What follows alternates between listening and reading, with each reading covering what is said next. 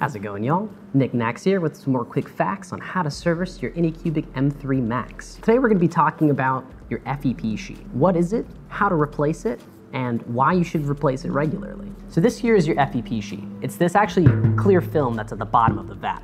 Makes a pretty cool noise when you tap on it because it's at very high tension. Every time that your build plate goes down into it, comes back out, and prints a new layer, that new layer is going to be stuck to the bottom of your FEP sheet and it's going to pull on the FEP sheet slightly and then pull away uh, at some point, hopefully, if you do everything right. So if you don't replace your FEP sheet for a while, eventually you're going to start noticing some issues. It may result in some prints being stuck to the bottom of your vat, and usually this is caused by wear on your FEP sheet or a uh, improperly lubed FEP sheet, just due to this extra friction that kind of builds up on the surface over time. The other thing that can happen is that there can be folds in the FEP sheet. Often I found that if I'm printing a large flat area, especially several back to back, without adjusting and cleaning the FEP sheet, it will eventually create these little creases in the FEP sheet that are then reflected in the print. And I'll show some examples of that here on the screen. Now, we don't want to just start unscrewing them one by one because these are the screws that actually provide tension to the FEP sheet. So if we remove them one by one, we're gonna have some uneven tension. It's not as big of a deal while we're removing it, but we wanna keep this in mind for later once we are putting the new FEP sheet in. So I'm gonna leave these edges and the very middles for last, and I'll remove some of these less important screws first.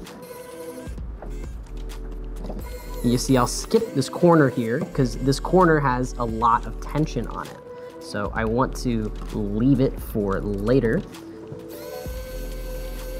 And I'll do the same with the middle one here, just to maintain a somewhat even tension around the perimeter.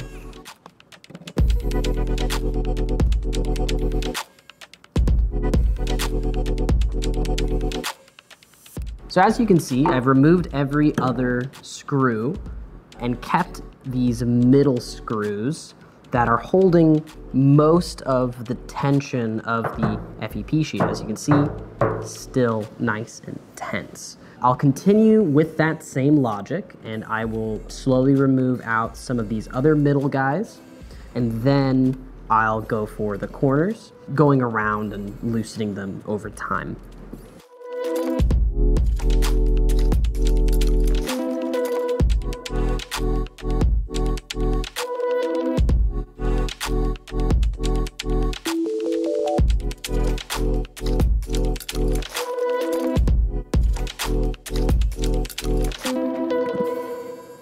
So now that we have all of our tension screws unscrewed, we can pop out this FEP sheet holder layer.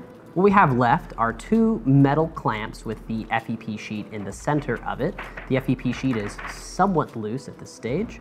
And if we flip it over, you'll see more screws, this time of a slightly smaller caliber. These screws are what clamp the FEP sheet in place. We can really see a bit more of the wear and tear that has been done to this FEP sheet at this stage now that all the tension has been released. So I'll go ahead and place that down and we can start unscrewing it. Now, something worth noting here before we go ahead and remove our plate and our old FEP sheet, which side is facing up? This is more important for certain FEP sheets, specifically the FEP sheet from Anycubic that comes with your printer. There is one side that is slightly textured and one side that is a bit more glossy. You want the textured side facing up. So the same side where we just removed these small screws, that is your up. Because remember that the vat would then go on top like this. So you want the textured side on the same side as your small screws. So just keep that in mind. It's worth noting. I'm gonna go ahead and remove our top layer and remove our old FEP sheet. Now that that has been taken care of, I'll go ahead and pop out our new FEP sheet. I have here some FEP sheets that I bought on Amazon by Koyo Fi. It, eh, they are 380 by 260 millimeters, so definitely large enough for our needs. You can get many different sizes and thicknesses. This one is 0.127 millimeters thick, and they have done me well. If you are not in a time crunch, I'd say just go ahead and order your FEP sheets straight from Anycubic. I'll put a link to these in the description as well as the Anycubic branded ones. So I'll go ahead and remove our FEP sheets from the tube. And we have four now, because I think I've already used one. And you can see on this FEP sheet that we are looking at a lot of blue, but that's okay. What these actually are are protective film layers on both sides of your FEP sheet. Every FEP sheet is going to have these layers, so make sure to peel off your film layers. And it might be confusing, but this clear film layer is not our FEP sheet. Our FEP sheet is actually still here attached to the blue, so we'll place it down on top and I'll peel off the blue now. There is no textured side. That being said though, I'm going to assume that the side that had blue on it is the top and the side with the clear film is the bottom.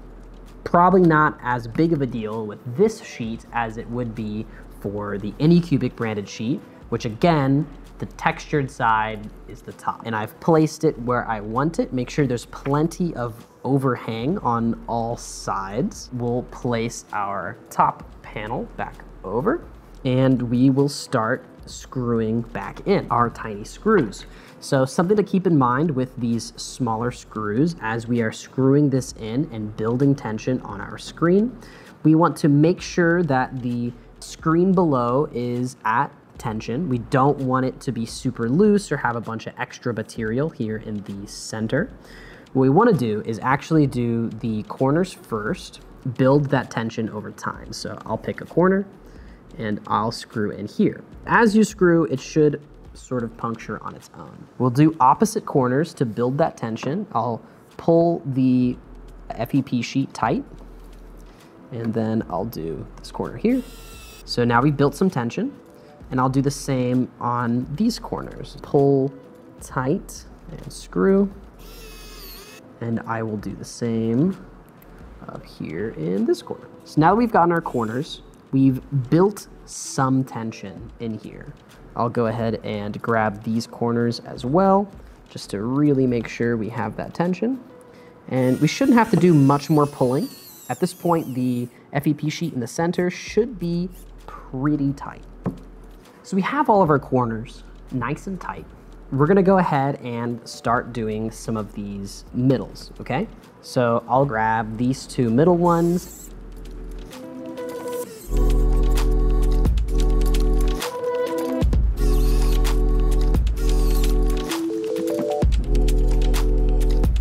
And these individual middle ones as well. So we have our middles. We can go ahead and just go around one by one and get the rest of the screws screwed in. And then we'll do one final pass to make sure all the screws are super tight and good to go. So now that all the small screws have been screwed in around the perimeter, I'm gonna go ahead and take my small Allen wrench and do one final check just to make sure these are nice and tight.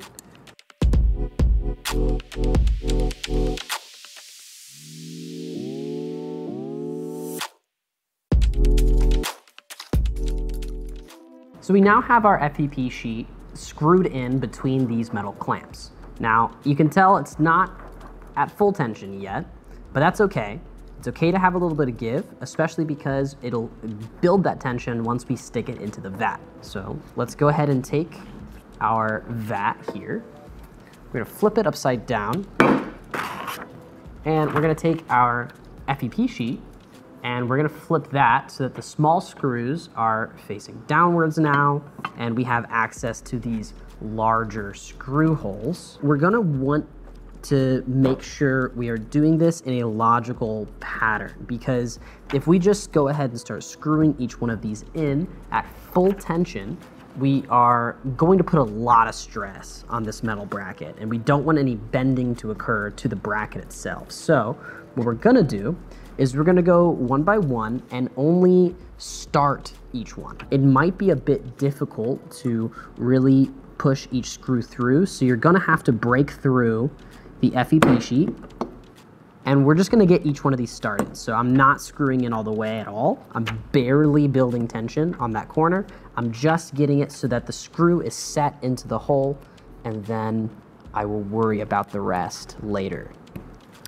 Now that all these corners are set, I'll go ahead and set the centers and then I'll grab these centers on either side here and now I'll go ahead and grab the centers of these. So we have three empty holes on each quadrant. So I'll go ahead and grab the centers of these.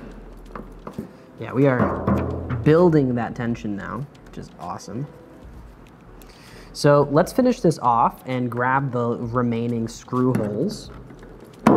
Again, not screwing in all the way, just screwing in so that the um, screw head meets the metal. And that's it. We've now gone through and built tension around the whole FEP sheet. We can start sinking these in. Now, I don't wanna sink them in all the way just yet. I wanna build tension over time. So we're gonna sink this one in about halfway.